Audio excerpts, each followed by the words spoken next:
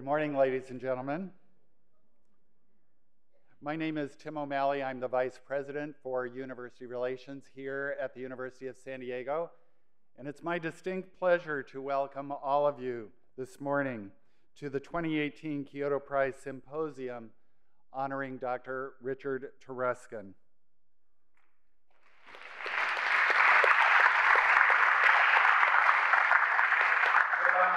A couple of housekeeping announcements.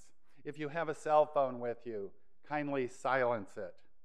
At the conclusion of Dr. Taruskin's presentation this morning, we would ask that everyone remain seated for a brief closing ceremony at the end of the program. And lastly, to our high school student guests this morning, we would ask that at the conclusion of the program that you remain in your seats for further instructions. Now, if you would, allow me to make a few special introductions.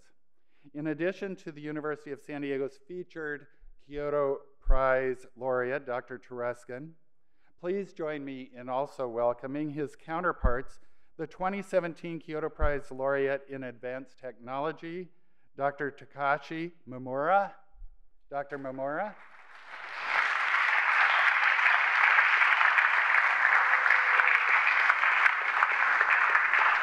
and the 2017 Kyoto Prize laureate in Basic Sciences, Dr. Graham Farquhar. Dr. Farquhar.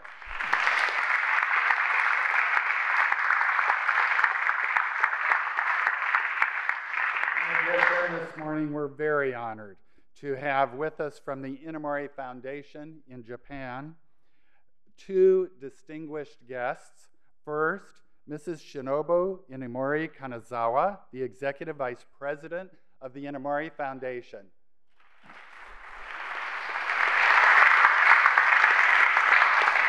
And with her, the Executive Managing Director of the Inamori Foundation, Mr. Shiochi Himono.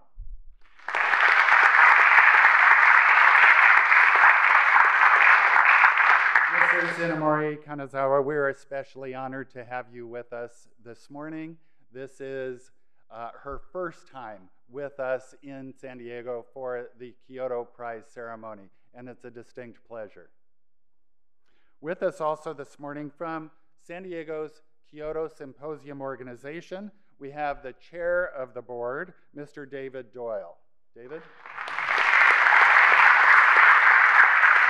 As well, the executive director and secretary, Mr. Richard Davis. Thank you all for being with us.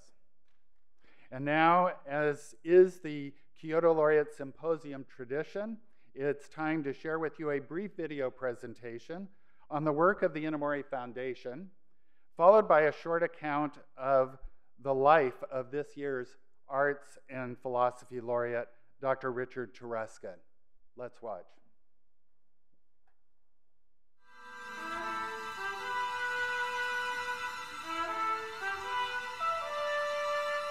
The annual Kyoto Prize ceremonies take place each November in Kyoto, Japan. The Kyoto Prize is Japan's highest private award for global achievement. It is given each year by the Inamori Foundation, which was founded in 1984 with the initial private funds of Dr. Kazuo Inamori, founder and chairman emeritus of Kyocera Corporation. Human beings have no higher calling than to strive for the greater good of humanity and society. The Foundation awards three prizes annually in the following fields. Advanced technology, including electronics, bio and medical technology, material science and engineering, and information science. Basic sciences, including biological, mathematical, earth and planetary sciences, astronomy and astrophysics, and life sciences. And arts and philosophy, music, arts, painting, sculpture, craft, architecture, design, theater, cinema, thought, and ethics.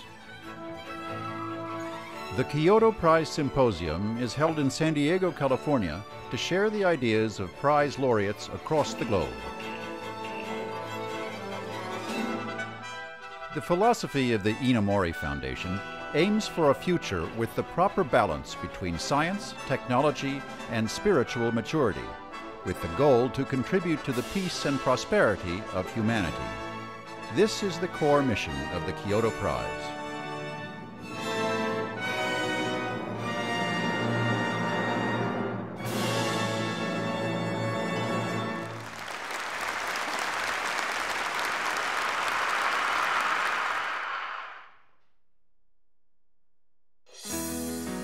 Born in New York in 1945, Richard Taruskin was raised in a house full of music as his attorney father was an amateur violinist and his mother had been a piano teacher.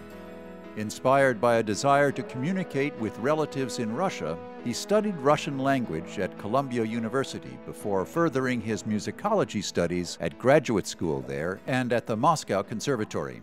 After earning his PhD at Columbia, he joined its faculty during this period, he was also a choral conductor and toured with the Aulos Ensemble. In the 1980s, while writing for the New York Times, other newspapers, and academic journals, Dr. Taruskin provocatively asserted that contemporary performances of early music were not true examples of authenticity, as was commonly claimed, but rather reflections of late 20th century aesthetics. This argument influenced the early music performance world, and even today, his viewpoint underlies the varied approaches these performances tend to take. In his research of Russian music, Dr. Taruskin adopted an unprecedented method of detailed analysis alongside extensive studies of contextual circumstances, including folkloristics, which radically reshaped our conventional image of the original composers. Dr. Taruskin's deep academic insights, reflected in his critical practices, have pioneered a new realm of musicology research. He has revealed that in music, creativity can be found not only in composition and performance, but also in meticulous discourse through research on music history and critical analysis. Dr. Taruskin's magnum opus, The Oxford History of Western Music, was published in 2005 and comprises 4,000 plus pages in six volumes. Focusing exclusively on music in the Western literary tradition, this impressive work is likely the largest overview of Western music history ever written by a single author. Following a long and illustrious career as professor of music at the University of California, Berkeley, Dr. Taruskin says, The most sustaining thought I have now is that what I have learned will further be carried forward by my pupils. Dr. Taruskin lives in the Bay Area where he continues to write, exerting profound influence in the field of musicology. His advice to the younger generation be tolerant.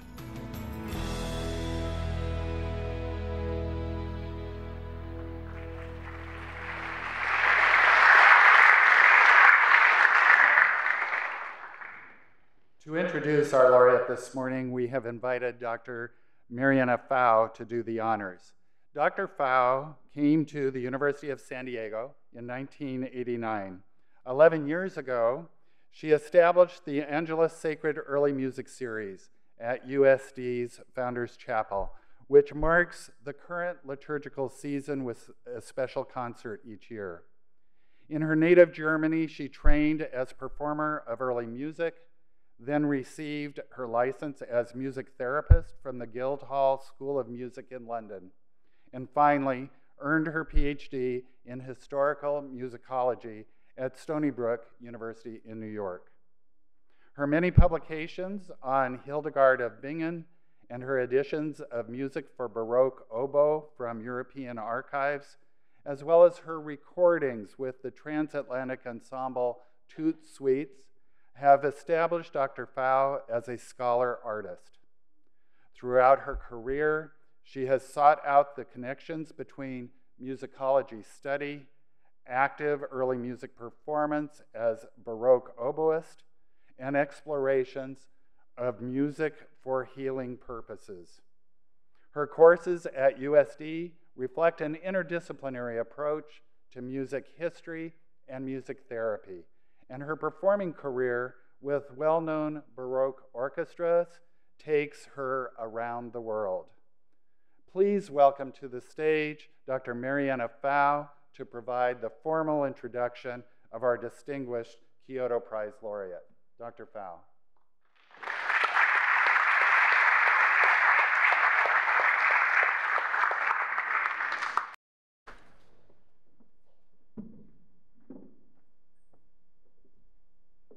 There's a little box for me to stand on. Thank you, Dr. O'Malley. It is a great honor to introduce Dr. Richard Taruskin and also a humbling task, I must say. As a fellow musicologist, I stand in admiration of what Dr. Taruskin has accomplished for our discipline. He is the first musicologist ever to have been honored by a prize of global reach like this.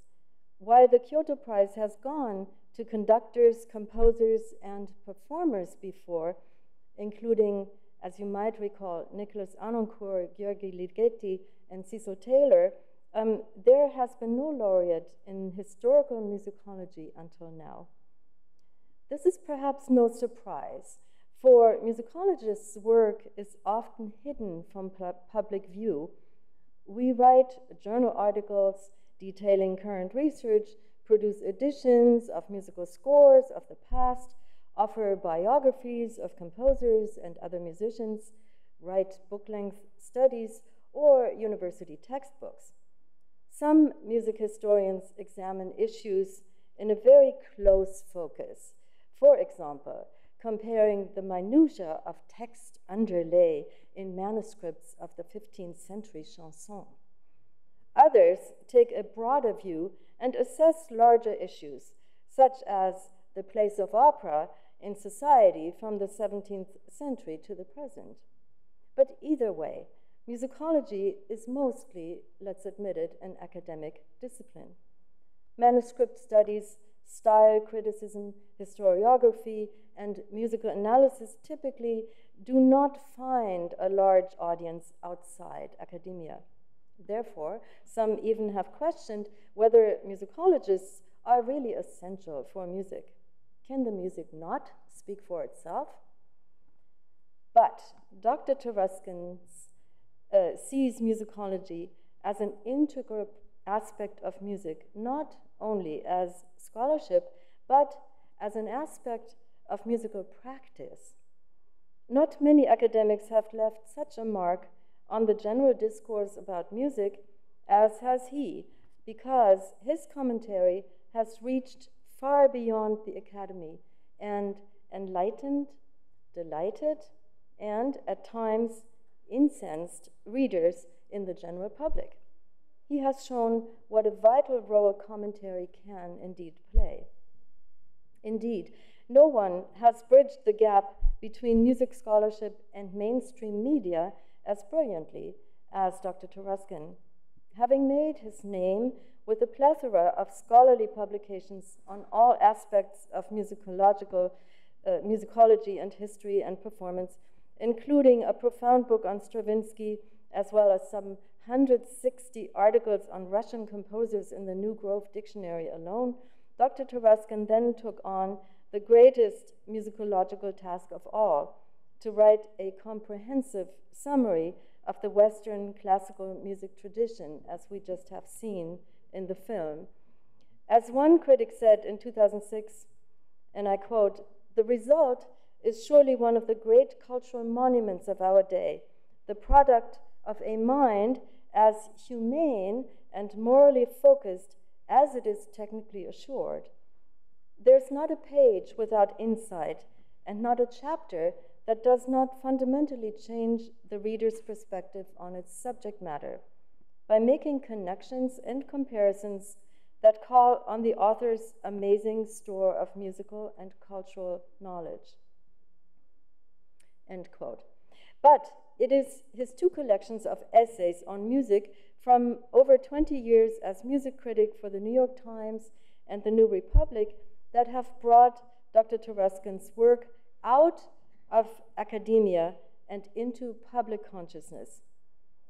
The 42 essays in The Danger of Music and Other Anti Utopian Essays have become essential reading for a general public interested in the arts and politics.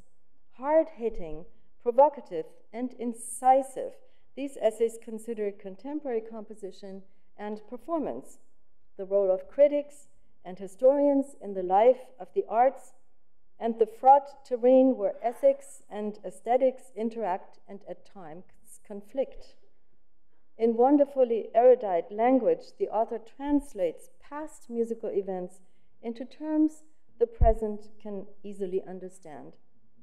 These, together with the earlier collection in Text and Act from 1995, show Dr. Taruskin as a public intellectual whom Der Spiegel coined America's national musicologist. According to The Guardian, and I quote, in these essays, Taruskin opens your eyes to music you thought you knew, from Bach to Verdi, from Cage to Reich, and above all, forces you to engage with the material of music, its rhythms and pitches, its art and artifice, but even more importantly, its social, political, and expressive power. Whether you agree or disagree with him, you can't help but take a stand. End quote. My students are reading both of these books this semester, and with great delight, I believe. The provocative essay titles uniquely grab their attention. Down with the Fence on music editing, the pastness of the presence and the presence of the past, on authenticity and performance practice. Or does nature call the tune? On biological predisposition toward consonance? Or titles such as How Talented Composers Become Useless. No ear for music, the scary purity of John Cage. Sacred Entertainments, that one is on opera. Or the musical mystique, defending classical music against devotees. Every one of these essays opens up fascinating perspectives on questions of general significance in our cultural landscape. Inevitably, reading these essays leads to great class discussions. It is clear that Dr. Taruskin isn't merely a sharp thinker, but also a fantastic writer. For students and general public alike, his writing keeps the music he discusses alive and incites engaged intellectual exchange because he can be both so contentious and so convincing. A student observed, his rhetoric is so strong and his acumen so astounding that even his most fervent antagonists are quickly rendered silent. We are having a lively class. As you can perhaps imagine, many of the essays collected in The Danger of Music have excited wide debate, including the title piece, which considers the rights and obligations of artists in the aftermath of the 9 11 terrorist attacks. Never one to dodge debate, Dr. Taruskin addresses the disputes he has stirred up by insisting that art is not a utopian escape and that artists inhabit the same world as the rest of society. May I close with, one, with the account of one wonderful anecdote that shows Dr. Taruskin not just as the eminent musicologist and critic, but as one who at heart is truly a musician. The famous St. Louis String Quartet was to perform Shostakovich at Stanford. Just a few hours before the performance, the violist became ill. Instead of having to cancel the show, Richard Taruskin saved the day by stepping in ad hoc. He kept the audience spellbound with an extempore talk about the circumstances of the quartet's composition, providing fascinating references to the bi uh, composer's biography, offered a discussion of chamber music's position in Soviet cultural politics, and so on and so on. As if that in itself were not a feat, he referred from memory to specific passages, measure numbers, in the string quartet. He then asked the remaining three players of the string quartet to illustrate his points by playing these passages. with himself, on occasion, humming the missing viola part. I trust that you will enjoy Dr. Taruskin's talk now, and then we'll come back at 2 p.m. to hear him talk on the many dangers of music as well. Please welcome Dr. Taruskin to the stage. Thank you.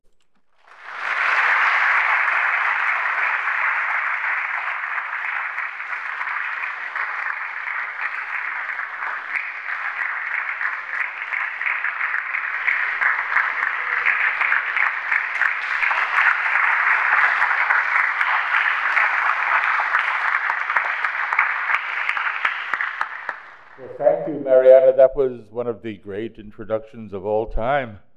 Uh, thank you all for coming. And uh, in the words of Yogi Berra, let me offer my thanks to all those who have made this day necessary.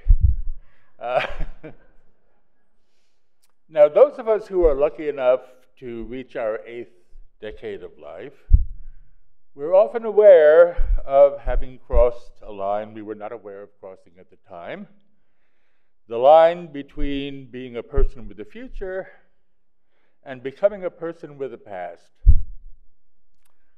Not that we don't hope for a little more future uh, and look toward, uh, look forward in expectation of continuing fulfilling work, but our past has become a resource for us. And if we're historians, our experiential memories have mingled with whatever we find in documents and books to create the thing that the great German musicologist Karl Dahlhaus called wissenschaftlich gefasste Erinnerung, which is very hard to translate, but it means something like systematized recollection, I suppose. Our lived experience helps us in the task of ordering our observations and inferences and making them meaningful. And thus, by informing our daily thinking, our past remains present to us. So now that I've been asked to offer some reflections on my life and work, that's one of the requirements of accepting the Kyoto Prize, I've been thinking with greater con- concentration than ever about my personal past, and that is what has prompted the title that stands above this talk, and it's in your programs. Uh, all was foreseen, nothing was foreseen. Uh, that's a paradox that I think many of us, at least at my age, will find familiar. In one sense, the story of my life is so simple, so straightforward, that it could be summarized in one sentence. At the age of five, I went to school, and I never left. In fact, if you asked me when I was six what I wanted to be when I grew up, I would have said a professor. I visualized myself, even then, with a gray beard, standing in front of a class and lecturing. And as you see, I have it. I mean, the gray beard. Um, until three years ago, I lectured regularly before classes. And now I still do it quite often before audiences of various sizes and in many places. When I was six, my stereotyped mental picture of myself as a professor included a cap and gown, which American professors wear only once a year, and never in the classroom. But other than that, you might say that my life and work were entirely foreseen by the age of six but you would be wrong.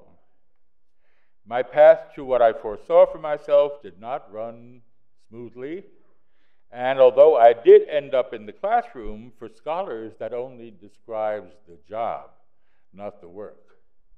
The job is what earns the money that supports the work. Or, as I used to joke, the job is what supported my habit of scholarship. Uh, the work is the activity that produces the creative output. The job enters into it, but only as one strand in a skein. And when I think of the course my creative work has followed, I'm always amazed at its contingency. Nothing about it was straightforward, nothing about it was predictable. So much was the result of happy accident, So much indeed that I half believe in providence, even though I can't really profess religious faith. I used to remind my students that a significant career requires three things it requires aptitude, requires ambition, and it requires luck. Which is to say, we need the ability to do the work, we need the capacity to formulate our own goals. I mean, that's what ambition is. Uh, we need the drive that motivates us to persevere in the often arduous pursuit of our goals. And we also, of course, need the opportunity that makes it possible to reach our goals. We are responsible for the ability and the ambition. And we can prepare ourselves to seize the third, that is, our opportunities, but only if opportunity knocks. And of course, that's a matter of chance. As our language tells us, that is, the English language tells us, by making one of the meanings of chance a synonym for opportunity. It was chance that made a musicologist of me to begin with. Music, as you heard in the introduction, was my consuming interest as early as I can remember, even as I nurtured the ambition to be a professor. My mother was a piano teacher, and she started me on piano lessons at the age of eight with a friend of hers as my teacher. She knew better than to try teaching me herself. My father was an attorney and an enthusiastic amateur violinist, and very early in life, I was informed that I would eventually play the cello, so that we'd have a trio in the family. Uh, I started those lessons, that is, cello lessons, at the age of 11. At the age of 13, I went to New York City's special high school for music and art, where I learned music theory and I even started to study composition. It was by no means a foregone conclusion, though, that when I became a professor, it would be of music, even though that is what I eventually did. There was family pressure, as there so often is, to choose a better paying profession than an academic one, and there were other interests that unexpectedly impinged. The most compelling of these outside interests was a result of a surprising event that befell my family. Both of my parents were American born children of Jewish immigrants to the United States from what was then the Russian Empire. My father's family came from what is now Latvia, and my mother's came from what is now Ukraine.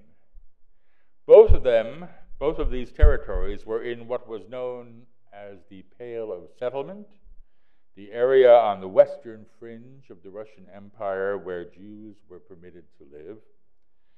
And those were precisely the territories that were occupied by the Germans during the Second World War. My grandparents were sure, and I grew up believing, that we had no relatives left in Eastern Europe. Any who remained would have perished during the German occupation. And then in 1958, when I was 13, and after three of my four grandparents had died, we learned to our amazement that a whole family of cousins of my father had moved after the Russian Revolution to Moscow and had grown up and flourished there. A delegation of rabbis from America had gone to the Soviet Union for a tour. They were met by an official guide whose surname was familiar to one of the rabbis, who had a man with the same name in his congregation at home. And it turned out that the two men with similar names were half brothers, and that both of them were first cousins of my father's. My father, who grew up speaking Yiddish, the language of the Eastern European Jews, began writing to his cousin, who sent us a lot of gifts, including for me many recordings of Russian operas. I had to write thank you notes, of course. I didn't know Yiddish, so writing to my Russian relatives became my first and entirely unforeseen incentive to study Russian when I went to college. It led to an overwhelming interest in the Russian language and its literature, and I actually became a Russian major as an undergraduate at Columbia University. When I started graduate school, also at Columbia, I returned to music, which was my first love, but now I had a rather unusual bit of equipment for studying music, at least for an American music student. I wasn't immediately moved to use it, however. I'm talking about knowing the Russian language, of course. I wasn't immediately used, uh, uh, moved to use it. As an undergraduate, I continued to study composition and was as strongly drawn to composition as a field of professional study as I was musicology. For two years, I actually pursued a double program as a graduate student, studying musicology, so to speak, in the mornings and working on compositions in the afternoons. I was hopelessly torn between them. Whenever I was doing musicology, I would think, ah, composing is so easy. All you have to do is make things up. And whenever I was working on a composition, I would think, oh, musicology is so easy. All you have to do is look things up. Uh, what finally decided me in favor of musicology as a degree pursuit was an unexpected present. As a topic for a master's essay, which was then required at Columbia University, I wrote about a man named Vladimir Stasov. He was a Russian arts journalist uh, of the 19th century who was very close to many of the Russian composers who were his contemporaries. Uh, so close that in my thesis I called him the sixth member of the five, the five being a famous group of Russian composers. Hearing of this plan, my aunt in Moscow, that is the widow of the cousin of my father who had first made contact with us in America, she would be, uh, in American reckoning or in English language reckoning, uh, the widow of my first cousin once removed, but in Russian, she'd be my aunt once removed, so I always called her aunt. Well, she persuaded a friend of hers to part with a huge three volume edition of Stasov's writings, and she sent it to me to help with my research. Overwhelmed with her generosity, I determined that I had to find a way to go to Russia and meet her and my other relatives there. And the only way I saw that I could do this was to apply for a fellowship that would support a doctoral project in Russia. And so I decided I would pursue the doctorate in musicology, not in composition, and that I would write about Russian music. I narrowed the subject down to Russian opera during the decade of the 1860s. I was very strongly advised not to do this. Neither Russian music nor 19th century music were generally considered appropriate subjects for research in the American Academy of those days, the late 1960s. Until then, I had been a most obedient student. Indeed, there's an old edition of the so called Hewitt Catalog of Dissertations in Musicology, in which you can find my dissertation in progress as originally announced on the masses of a composer named Henricus Isaac, a 15th century Flemish composer. Now, that was considered kosher for musicology.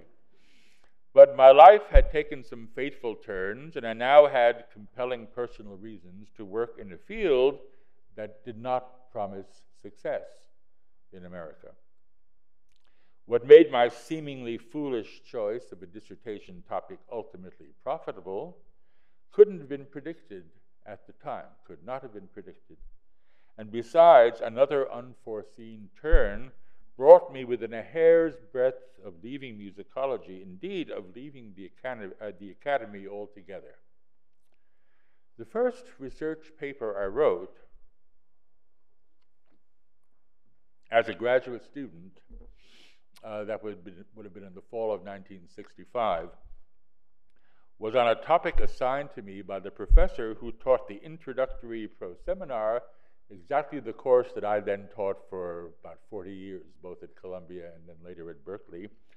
But when I was a student, it was being um, taught by a professor named Paul Henry Lang, who was probably the most famous American musicologist of those days. And his manner of teaching was, by today's standards, impermissibly autocratic. He knew that I played the cello, so he assigned me um, what, is what surely seemed the most natural topic in the world according to his lights and those of the discipline as it was then practiced. The transition, as he put it, from the viola da gamba to the cello in the 18th century. What I eventually found out in doing the assignment that there was that there had been no such transition. Uh, the early players of the cello were not former viola da gamba players, and the two instruments belonged to different instrumental families, and they had very different social uses. That's not important. What was momentously important, important to me at the time was my discovery of the viola da gamba as an instrument that I could play. One of my classmates already played it, and I asked her whether I could see her instrument and learn some rudiments of its playing technique. She sensed an opportunity to make a convert. And so she offered to get me an instrument that I could practice on, and also she put me in touch with her teacher. And I became the most enthusiastic convert imaginable. Uh, you could say I made the opposite transition to the one that I was researching. I went from the cello to the viola da gamba. Uh, almost overnight, I practiced the gamba much more seriously than I ever practiced the cello, and much more seriously than I was then doing musicology. It really took over my life, and if I'd had the chance, I would have made it my profession. And I almost got the chance. A few years after I'd begun playing, the New York Pro Musica which was the leading American performing ensemble for early music then, and the only one in the country that could pay its members a living wage. And in 1970, they paid $12,000 a year. That was a living wage. Um, they advertised an opening for an unspecified string player. Both viola da gamba players and players of the lute applied. After the auditions, the group let it be known that the choice would be made between the top gambist and the top lutenist. That is, between me and one of my closest friends who had auditioned on the lute. They kept us waiting for more than a month before announcing that they had decided on the lutenist. I was dashed. It was perhaps the greatest disappointment of my life. If I'd been offered the job, I would have accepted it with joy. I would have withdrawn from the doctoral program at Columbia and become a full time performing musician. And I would somehow have had to justify that decision to my grieving parents, who would have regarded the decision as a fatal mistake.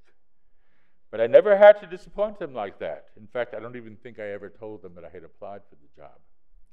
I went back to Columbia tail between my legs, and I resolved on going through with the decision I have already described to get a fellowship for a year's study in Moscow and write a dissertation on Russian opera. I did this very reluctantly and in a state of dejection. And now I will depart from strict chronology and fast forward, as we say, a dozen years to the early 1980s long after the New York ProMusica had dissolved, after I had earned my doctorate and joined the faculty at Columbia, and where I was by then the director of graduate studies, the person to whom applications for admission to the program were addressed. And who do you think addressed an application to me? None other than my old lutenist friend, uh, who had beat me out in competition for a job with the now defunct ProMusica all those years ago. And she was now unemployed and belatedly seeking a degree in musicology that would enable her to find academic employment.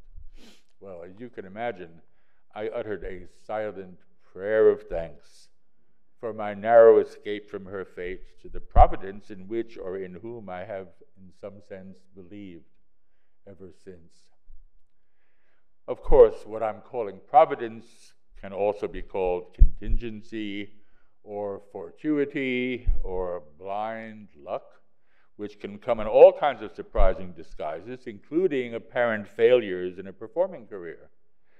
Other manifestations of blind luck in my life have been undisguised and so abundant as to destroy completely any idea that I could ever have ha- uh, had, or any idea that I could ever have had that I owed the successes I've enjoyed solely to my own efforts and deserts. There is, for example, the matter that I've already promised to explain, namely how my foolish decision to write a doctoral dissertation on a topic as unpromising as Russian opera eventually bore fruit. When I finished my dissertation, it certainly seemed like what we call a white elephant, you know, uh, a possession, according to the dictionary, uh, that is useless or troublesome, especially one that is expensive to maintain or difficult to dispose of. Uh, yeah. One's dissertation can indeed be difficult to dispose of. Uh, what one normally does to dispose of a dissertation in addition to seeking publication for it as a book, is to get individual chapters published as articles in professional journals. I didn't think there was any chance of doing that with a dissertation on Russian opera, um, considering the predilections of academic musicology and, of course, the predilections of the editors of those publications. And then one day in 1976, the year after I finished my degree, I read an advertisement in one of the standard musicological journals that a new musicological journal was being launched at the University of California by the University of California Press and with a trio of University of California professors as editors.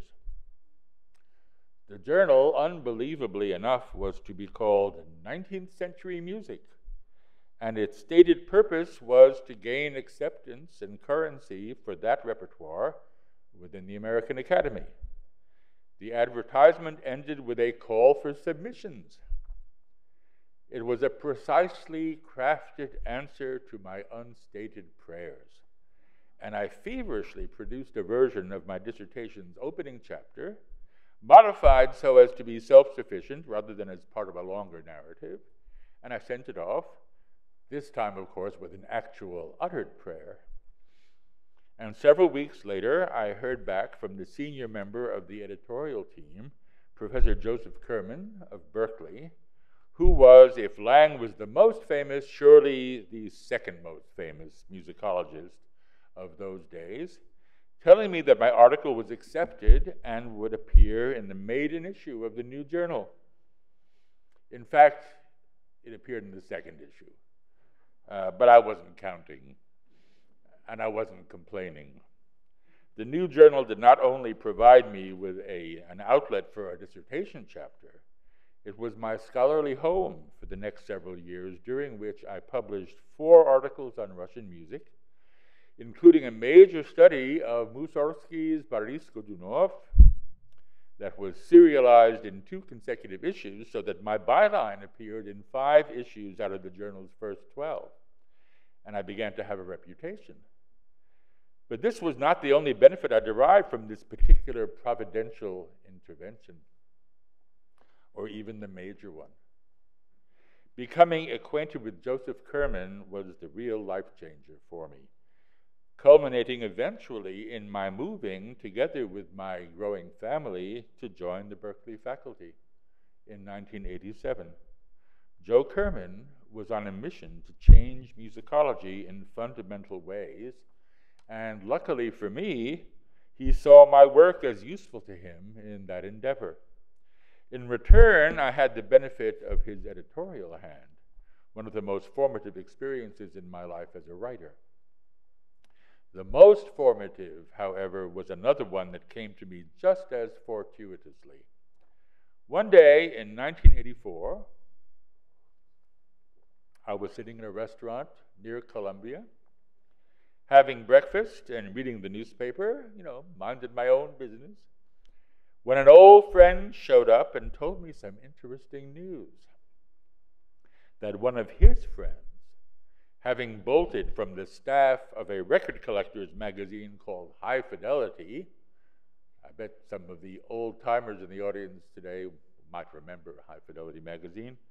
Um, he had bolted and he was starting up his own more serious magazine called Opus and was looking for writers. Shortly afterwards, a Slavic scholar on the faculty of the University of California, whom I had met at a Stravinsky Centennial Conference in 1982, that was here in San Diego, by the way, uh, but I lived in New York then, uh, passed along to me a reviewing assignment from the New Republic, you know, the magazine, the New Republic a journal of political opinion, which he was forced to decline because of a conflict of interest. The author of the book under review was his doctoral student. So that's how I was put in contact with two editors, James Oestreich of Opus and Leon Wieseltier of the New Republic, with whom I collaborated regularly for almost 30 years, and through whom I became the one American musicologist to appear, uh, to appear regularly, not as a critic but as a book and record reviewer and a musical commentator uh, in the mass circulation press. See, I, that's how I became America's national musicologist or public musicologist, as I've often been called. But you can already see that it was pure happenstance that gave me my opportunity to become that. But it was even more fortuitous than that. I started writing for Opus magazine in 1984 and the magazine folded in 1988. That was my second biggest career setback after being rejected by the New York ProMusica. For two years, I thought my little fling as a public musicologist had ended, but then Jim Oestreich got himself hired as the Sunday music editor at the New York Times. He began remustering his old troops, as he said. And that gave me access to the largest audience a writer on classical music in America could ever dream of having. Between 1990 and 2012, I published more than 60 pieces in the New York Times. I lasted there because I found it congenial to write about music in relation to what has always been prim- uh, the primary concern of any newspaper uh, that is, social and political issues. And I would be very surprised if that stint as a very public and often controversial commentator didn't have a great deal to do with my ending up standing here today.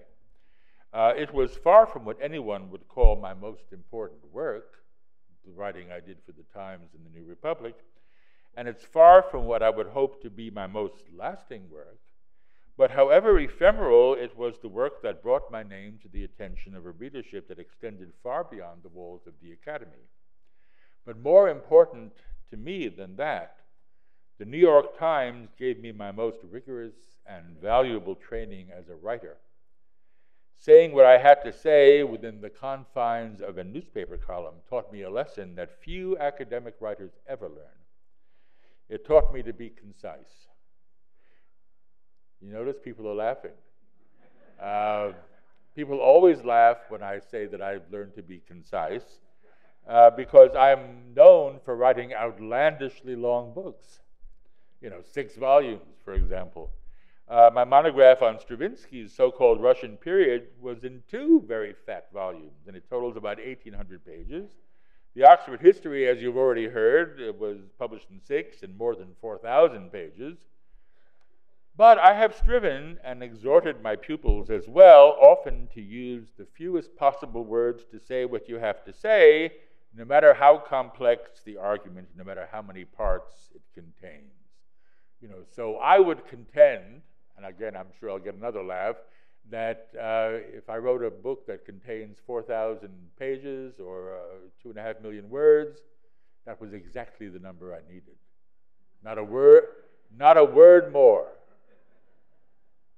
believe that because I firmly believe it. Um, because you see, it was only the fact that I, as editors say, wrote short that I could get away with writing such long books.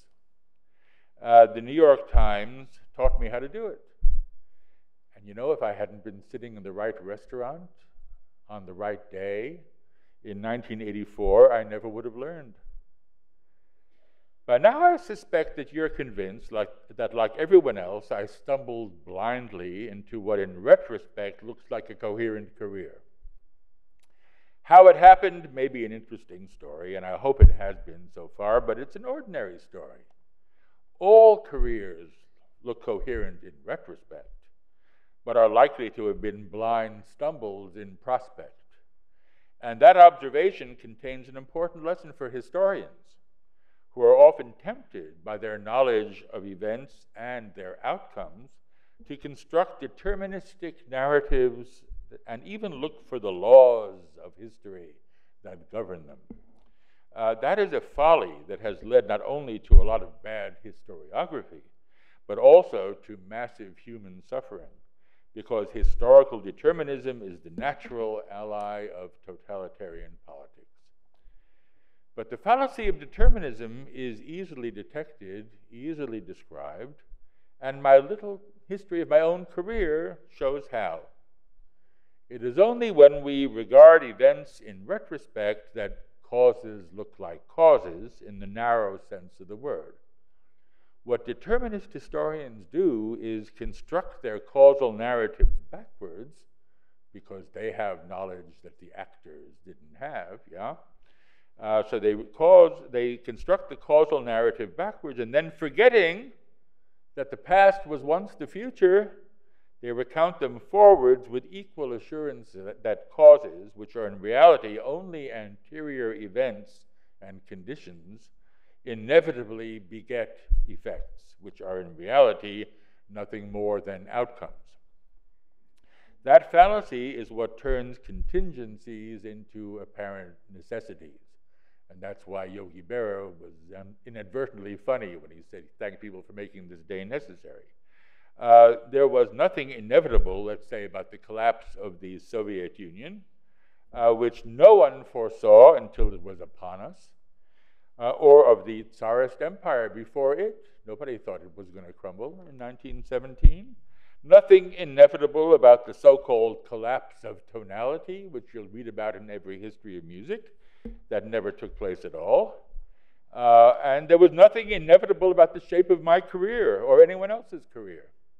Nothing in any of these events could have been foreseen.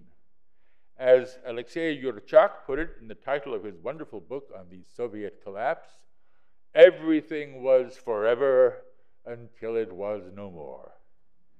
So that's the end of my sermon, but not quite the end of my lecture because I haven't yet told you about the most astonishing contingencies that have enabled me to do the work I have been able to do. The first time any work of mine made waves within the profession was when I proposed, as I think Mariana has already mentioned, uh, that the revival of old ways of performing music, what was then called authentic performance practice, was not, in fact, the revival of historical performance styles, but rather a newly invented style that took its bearings not from the aesthetics of the past, but from the aesthetics of modernity. It was indeed a modernist style, passing itself off, as modernist styles often do, as a historical revival. When I first advanced this idea in 1981, the idea was regarded as, well, let's just say counterintuitive, to put it mildly. Um, but by the time I gave it its most extended exposition in an essay that was published in 1988, it had won some currency, and you know by now it's the accepted view. What made it ultimately convincing was the evidence that I was able to present in support. I remember so vividly the first time I encountered that evidence. I had just begun to do research, the research that led to my Stravinsky monograph. I came to Stravinsky from my previous study of Russian music, which began, as I've already mentioned, with my formal degree exercises. My master's essay of 1968 on Stasov, and my doctoral dissertation of 1975 on the Russian operas of the 1860s. At the same time, as I've also already told you, I was heavily engaged in the performance of early music as a viola da gamba player and also by then as a choral conductor. Now, these two aspects of my professional activity, Russian music research on the one hand and early music performance on the other hand, were quite unrelated in their origins within my life and quite remote from one another in their purview, and they had never touched, nor did I ever expect them to touch. They amounted, in Franz Liszt's expression, to a sort of vie bifurquée, a musical life divided, uh, happily divided, I should say, in two. But now that I'd embarked on a study of Stravinsky, I needed to acquaint myself with the basic tenets of and the basic texts of aesthetic modernism. Now, since the best way of learning a new subject is to teach it, I announced a seminar on the theory of modernism, and I began reading up in preparation for the seminar. One day, sitting in my office, preparing for the first meeting of the class, I read two texts for the first time. One was called Speculations, and it was the collected essays of a critic called T.E. Hulme. And the other was a book originally published in Spanish as La Deshumanización del Arte, or The Dehumanization of Art, by a uh, Spanish philosopher named Jose Ortega y Gasset. And this was one of my great eureka moments because I immediately recognized in their words, Hulme's and Ortega's, um, the discourse that reigned within the world of early music and that had no counterpart at all in the actual historical texts uh, in which, on which the early music movement professed to base its practice. Once I realized this, it was easy to see that what we were calling authentic or historical performances of old music were no more like the performances the music would have had when it was new than a neoclassical concerto by Stravinsky resembles an actual concerto by Bach or by Mozart. The assumption that the radical 20th century break from romantic or 19th century performance practice was in fact a return to 18th century and earlier ways, that was spurious it was easy to show that the performances we're giving now did not have 18th century counterparts. Now everyone can see this. Why was I the first to see it? Only because, quite fortuitously, my musical life had been divided the way it was into those two seemingly unrelated and unrelatable Russian music and early music halves. Only because I came to the reading of modernist texts having been trained in early music did I see the correspondences that are now almost universally acknowledged. If I, with my idiosyncratic and fortuitous combination of interests, had not made these discoveries, it's possible that no one would have made them. I wasn't uniquely gifted, certainly not clairvoyant, but I was uniquely equipped and that had been the matter of merest, sheerest chance. And now for the most improbable and therefore most amazing set of contingencies of all. When I began my research on Stravinsky, I did not have in mind an ambitious plan comprehensively to study his early development in Russia and his early works against the background of Russian music. I couldn't hope to write such a book because there was a practical impediment. Stravinsky had kept most of his manuscripts in his personal possession during his lifetime. After his death, possession had passed to his heirs, who were divided into two hostile groups. His three surviving children, on the one hand, and his widow, not their mother, but his second wife, and his assistant, whose name was Robert Kraft, on the other hand. So, from the moment of Stravinsky's death, his estate was in litigation, and in consequence, it was inaccessible to scholars. My own early inquiries were always answered very discouragingly by lawyers. Uh, and you know, the worst letter you can get as a scholar is a letter from a lawyer. Uh, imagine then my elation when I received a phone call from a former graduate student at Columbia who was then employed as an assistant at the New York Public Library to inform me that the New York Surrogates Court had awarded the New York Public Library temporary custodianship of the Stravinsky estate while its disposition was being adjudicated, that the library had made it a condition that as long as it had custody as a public library, the contents of the estate would be made available to the public, and in consequence, that I now had free access to it.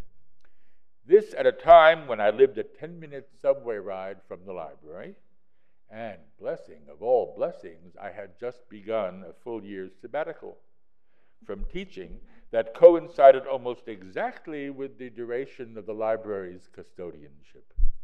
For 10 blessed months in 1983 and 1984, I virtually lived at the library, where I had a freedom of access to Stravinsky's manuscripts that no one has had since, because I was able to examine and actually physically handle the actual physical documents rather than microfilms or photocopies, which the Paul Sacher Foundation in Basel, Switzerland, which the, was the eventual purchaser of the estate, and now only permits under exceptional circumstances. So, this was a stroke of fortune such as I have never had before or since, nor has any other scholar that I know. Uh, whenever I tell people who are working on Stravinsky manuscripts now through the Basel Foundation that I actually held them in my hand. You know, my fingerprints are on them, and I could sort them out at will and compare them side by side, all the things you can do when you have physical access. They turn green. Uh, and it was just a stroke of good timing, shall we say, good fortune. But I've had many other such strokes, not as spectacular as that one, perhaps, but also crucial determinants to my life's course.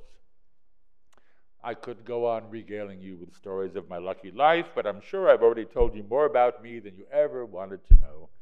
And you are already perhaps wondering whether I really deserve a prize for receiving so many blessings.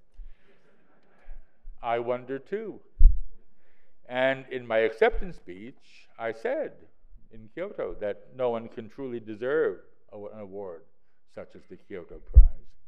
I also know from rumblings that have reached my ear from afar that my particular field of endeavor has made the award in certain quarters all the more a cause for wonder, even a bit of annoyance that a musicologist is getting such a thing.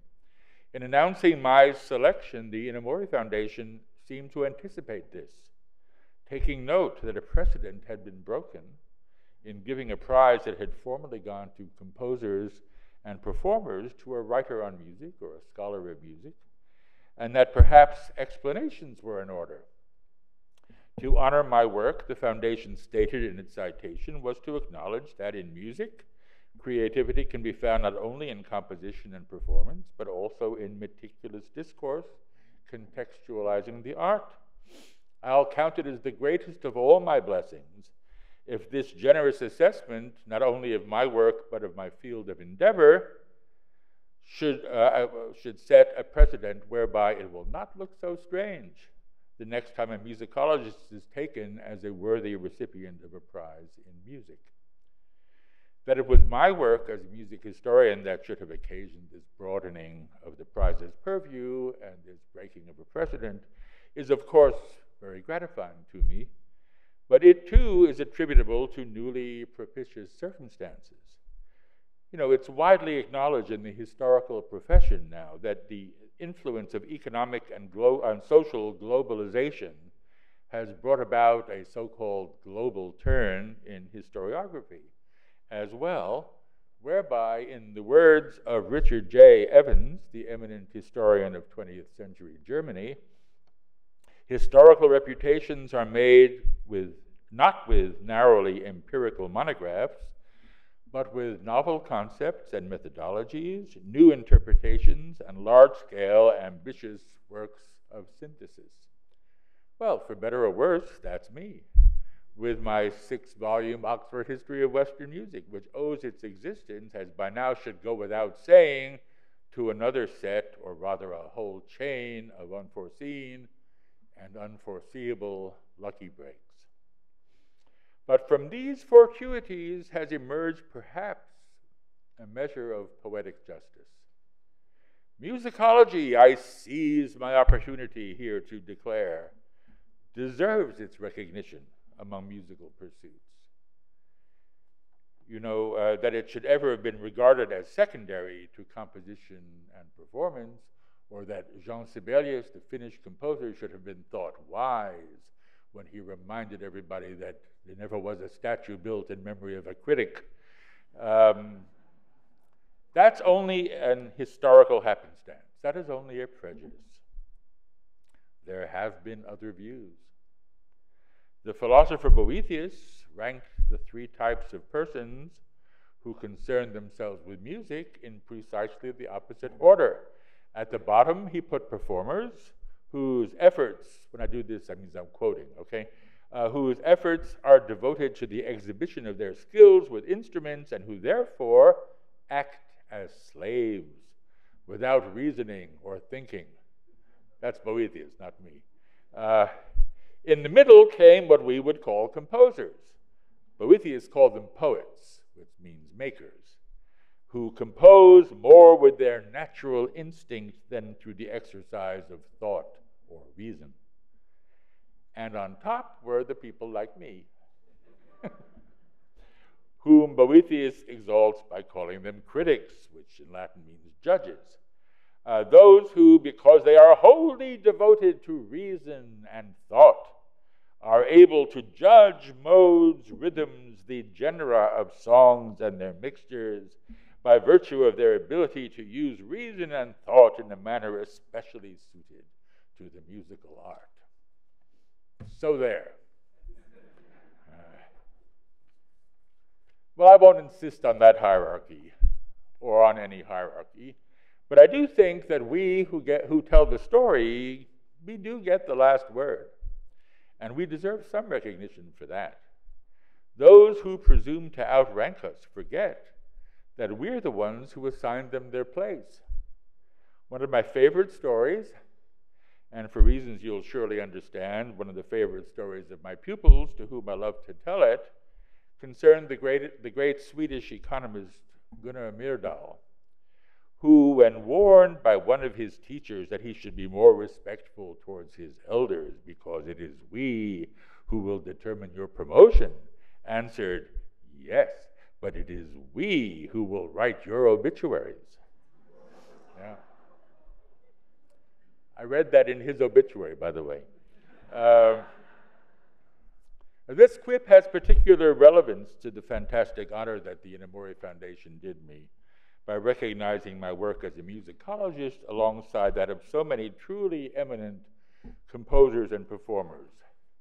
With the exception of Cecil Taylor, who works within a tradition other than the one that I've taken as my beat, I've written about all my predecessors. That probably is the difference between me and them. I've written about them. Uh, in some cases, I've written quite extensively about the people who received the music award before me, and in all cases, I have striven to do, as the Kyoto Prize citation has noted, I've striven meticulously to contextualize their art. And I have not always been thanked for it. Contextualizing has, me, has meant describing their work seriously in the way that I have described my own work today in a more ironic or parodistic vein in terms of a dialectic, a push and pull between a more or less powerful agent and the enabling and constraining conditions within which the agent acts. In my own case, I have spoken somewhat simplistically about luck. What I meant, of course, is that like all agents, I could only exercise my abilities within a particular circumscribing environment. Like my predecessors, I strove to make the most of my opportunities, or what we now prefer to call affordances. And in this, I was aided by my ambition. And the strategies I was able to contrive in order to realize it.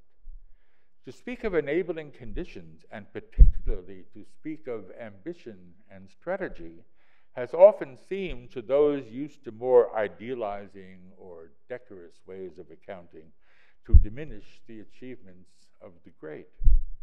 But even those who have opposed my work, and I have been battered as well as flattered by its reception over the years, uh, they must be aware, if they're at all capable of introspection, that their own activity has been subject to constraints that they have had to negotiate through strategy. The implicit endorsement the Kyoto Prize has given my efforts and my methods, if it serves to encourage a more realistic and informative historiography of art, gives me additional reason, and the most powerful one of all, to be grateful. Thank you very much.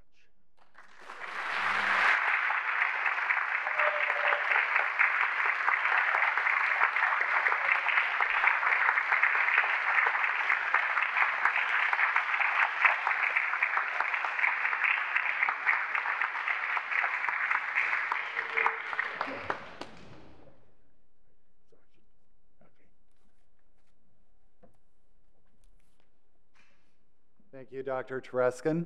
Uh, it occurs to me that regardless of our chosen professions and whether we have a little more past or a little more future in our lives at this point, that we might all be excited about the possibilities of what might be uh, despite our best laid plans. Uh, thank you again for uh, sharing with us not only your particular story, but also the opportunities that I think we can all uh, anticipate uh, in our lives. I had mentioned at the top of the program that we have a traditional brief closing ceremony each year as part of the Kyoto Prize Symposium here in San Diego. And to conduct that uh, brief ceremony, I would ask that you help me welcome to the stage the um, chair of the board of directors for the San Diego Kyoto Symposium organization, Mr. David Doyle. David?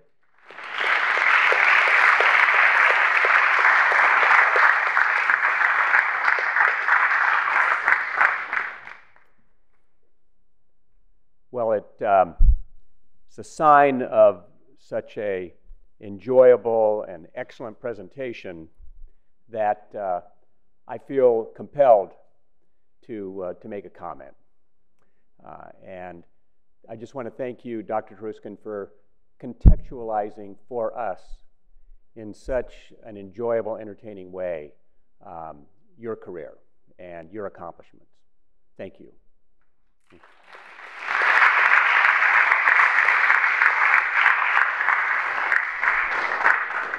And I must say, you blended so well the elements of the subject matter, and the performance. Well, we have done it again. I am proud to announce the official conclusion of this year's Kyoto Symposium events. San Diego and the host universities have the unique honor to be the only North American site where the Kyoto Prize laureates come to celebrate and share insights that led to their selection. We again express our gratitude to the Inamori Foundation for choosing San Diego as the first city to share with Kyoto the celebration of the Kyoto Prizes. Thank you.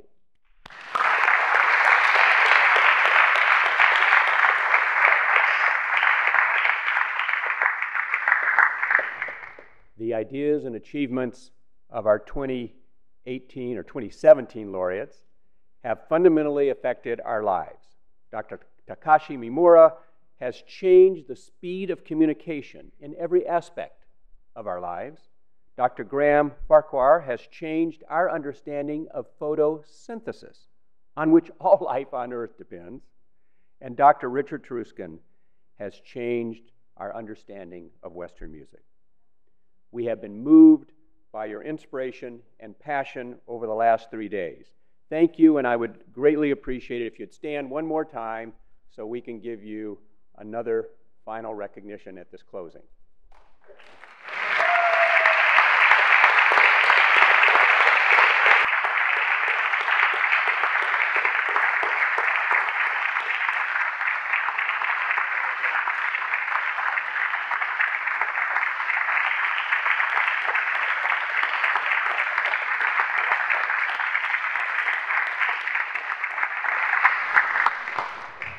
My final remark is to extend a very large thank you to the people and organizations who have worked together so hard and so well to make the 2018 Kyoto Prize Symposium such a success once again.